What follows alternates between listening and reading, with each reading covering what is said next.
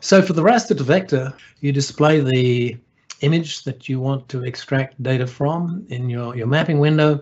You georeference it. You then press the edit button and you put it into the spatial editor. Uh, you pick an option, create, in this case, uh, vectors from raster, and it pops up the same image processing tools. So we have on the left here the, the tab window, image pre-processing, and in the monitoring windows, we have a couple of different options, the source image, the pre-processed, and the threshold. What we've done with this image is we've applied the uh, pre-processing and we've used the color filter.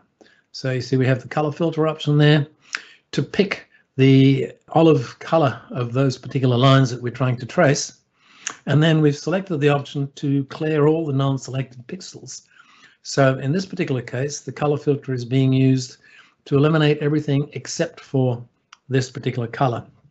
There is a tolerance, so you can let it go a little bit to the reds and the yellows side of the, the olive green.